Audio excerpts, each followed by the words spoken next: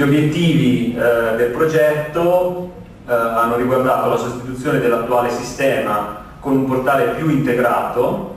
in grado di garantire una forte integrazione verso il back-end, una modificabilità e manutenibilità nel tempo, la messa in sicurezza del catalogo prodotti e poi lo sviluppo della parte mobile, con un'applicazione che ripercorre le stesse funzionalità dell'applicazione portale ma gestibile in modalità offline da tablet.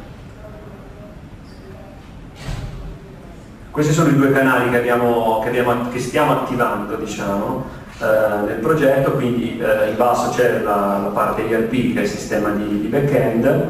stiamo sviluppando delle applicazioni con, delle, con, la tecnologia delle web impro per portare fuori e rendere fruibili via, via internet le applicazioni di gestione dei clienti e raccolta ordini e in parallelo sulla stessa base dati stiamo sviluppando la parte di mobile application.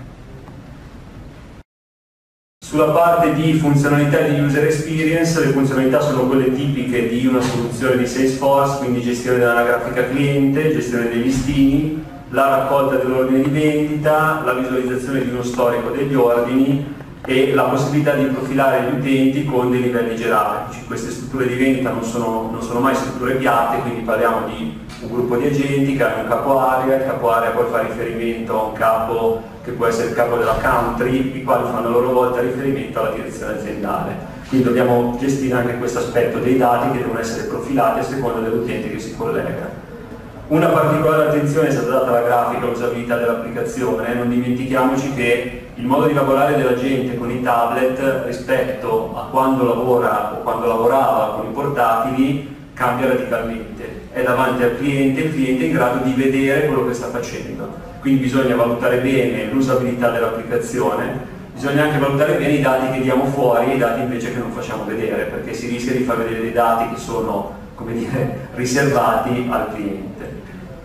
Quindi abbiamo fatto uno studio grafico eh, diciamo,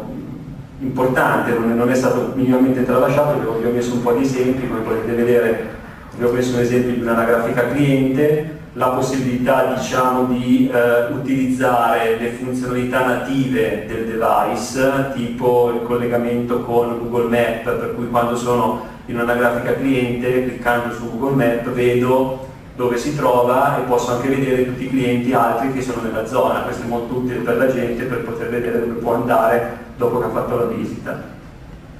L'integrazione con la posta elettronica, quindi possibilità di spedire mail e inviare direttamente dall'applicazione e così via. Eh, sulla parte di raccolta ordine, anche qui abbiamo studiato un flusso particolare che è una specie di workflow dove si parte dall'inserimento dell'anagrafica del cliente, il passaggio ai dati di testata dell'ordine, vengono visualizzati in modo molto diverso, ma in realtà sono gli stessi dati che vengono replicati dal sistema di back-end, dal sistema SAP. Non sono dati autonomi, sono dati del, del, del back-end il caricamento poi del, delle righe d'ordine con la possibilità di scegliere i prezzi, i vari, vari sconti e queste sono diciamo, particolarità di come viene fatta la scontistica e il listino di data.